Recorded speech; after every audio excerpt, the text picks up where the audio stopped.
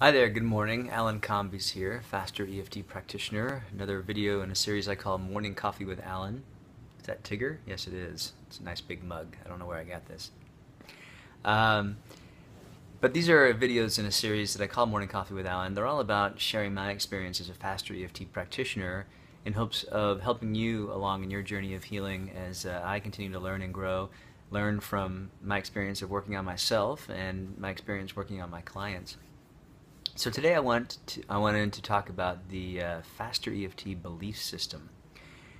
And uh, you know, I think the faster EFT belief system is very, very uh, crucial when it comes to um, working either on yourself or, or with a practitioner.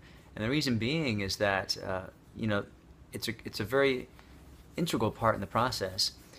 If if I come at you from a, a model that says uh, something like, you know, um, if, if I believe that the cause of your problems is um, you're haunted by spirits, then I'm going to be coming at you from a completely different model than if I was coming at you from the faster EFT belief system. So, what is the faster EFT belief system? And I believe uh, the belief system is based is really just sort of black and white. It's based on kind of a universal truth, and uh, it's the same all over the world.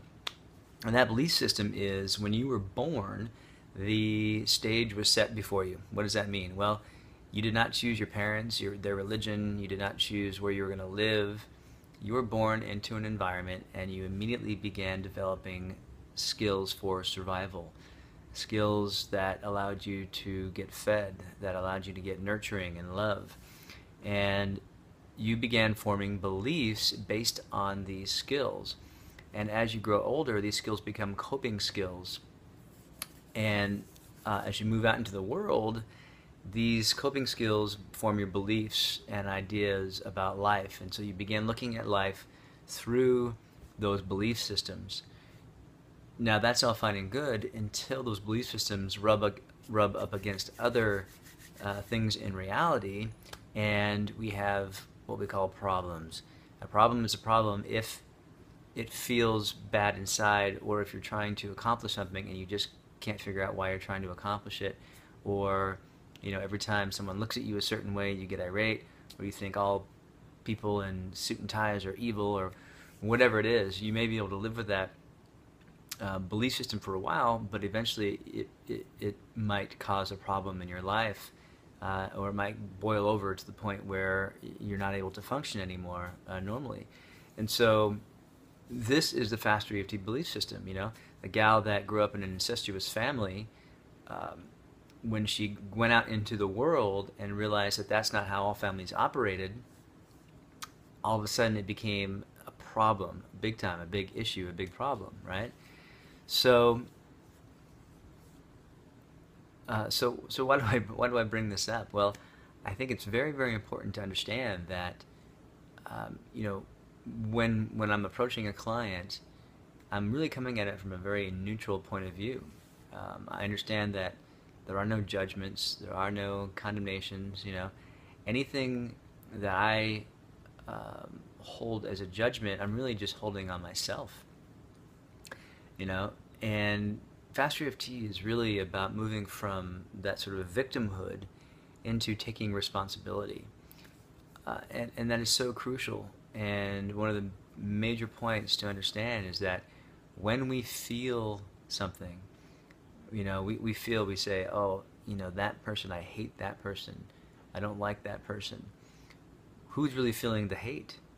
Who's really feeling that pain and we think that by hating that person or holding that person as you know as vile in our hearts that we're somehow justified in it. And and and, and it's gonna i'm gonna show them i'm gonna feel really crappy you know?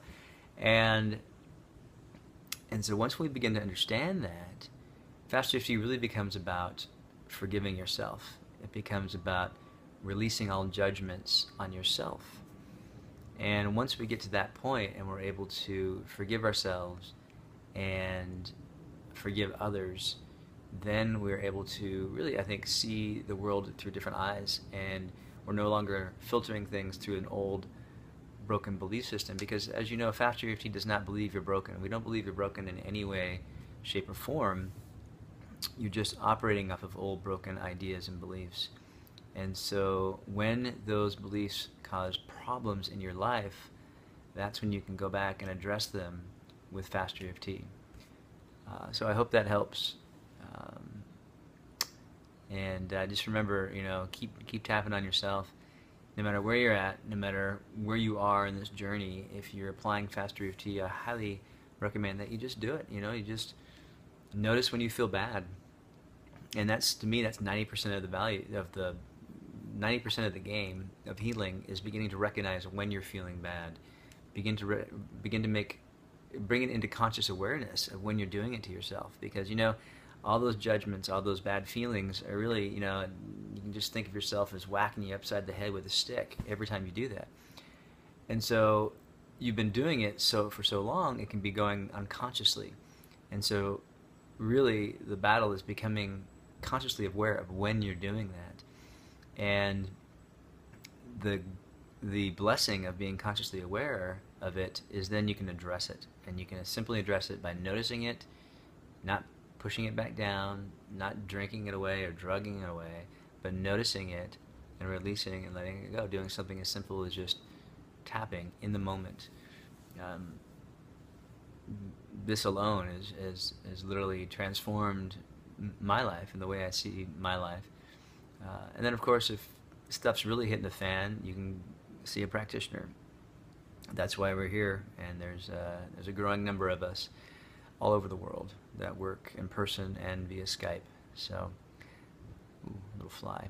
Anyway, sorry, it's like little fruit fly in here. Um, I'll just let it go. Very good. All right. So anyway, this is Alan Combies Morning Coffee with Alan. I hope that helps. Uh, as always, keep tapping, um, keep learning, keep growing, and we'll see you in the next video. Thanks very much.